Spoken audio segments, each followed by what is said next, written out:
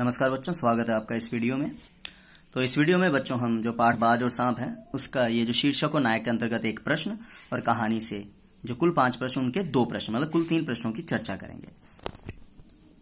बाकी के अगली वीडियो में। तो बच्चों, यह प्रश्न है लेखक जी ने इस कहानी का शीर्षक, कहानी के दो पात्रों के आधार पर रखा है। लेखक जी ने बाज और सांप को ही क्यों चुना? आपस में चर्चा करें मतलब लिखना तो है ही है हमें। तो बच्चों, आप देख सकते हैं, यह उत्तर है। तो लेखक जी ने इस कहानी के लिए दो नायकों, सांप और बाज का चयन इसलिए किया है, क्योंकि बिंदुओं में है, ठीक है? तो बाज को जहाँ आकाश की असीम शून्यता से प्यार है, वहीं सांप को अपने अंधकार युक्त खोखल से प्यार है। मतलब दो विरोधी, विपरीत स्वभाव के नायकों की यहाँ पर उन्होंने प्रयोग किया है उनका। बाज साहस एवं वीरता का प्रतीक है, जबकि सांप को कायरता का प्रतीक बताया गया है, अगर तुलना की जाए। बाज को आकाश में उड़ने की स्वतंत्रता से प्यार है, जबकि सांप को खोखल में सिमटा रहना ही पसंद है। बाज अंतिम घड़ी तक आकाश में उड़ पाने की अभिलाषा रखता है, जबकि सांप भूल कर भी दोबारा ऐसा नहीं करना चाहता। ठीक है तो इसलिए उन्होंने इन दो नायकों का चुनाव किया है, ताकि वो अच्छे से अपना जो भाव है, स्पष्ट कर सके।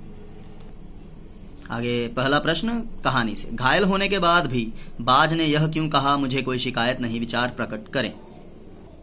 तो बच्चों, यह उत्तर दिख रहा है आपको, आपके समक्ष। घायल होने के बाद भी बाज जी ने कहा, मुझे कोई शिकायत नहीं है, क्योंकि उन्होंने ज़िंदगी को जी भर कर जी लिया था। जी लिया था। उनके शरीर में जब तक शक्ति थी, उन्होंने सभी सुख भोगे।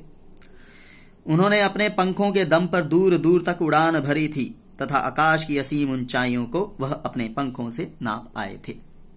ठीक है बच्चों? प्रश्न दो है बाज ज़िंदगी भर आकाश में ही उड़ता रहा फिर घायल होने के बाद भी वह उड़ना क्यों चाहता था? तो बच्चों यह रहा उत्तर जो हम बिंदुओं में लिखेंगे। बाज ज़िंदगी भर आकाश में ही उड़ते रहे फिर घायल हो, घायल होने पर भी उड़ना चाहते थे क्योंकि उन्हें आकाश की असीम शून्यता से प्यार था। वह आजन्म मतलब ज़िंदगी भर जन्म भर उड़ने से प्यार करते रहे इसलिए मरने तक ऐसा करना चाहते थे। उन्हें आकाश में स्वच्छंद उड़ना पसंद था मतलब बिना रोक टोक। और उन्हें ज़िंदगी से हार, उन्होंने ज़िंदगी से हार नहीं मानी थी। तो उन्हें साहस तथा स्वतंत्रता प्रिय थी मतलब इन दोनों अच्छे गुणों से प्यार था।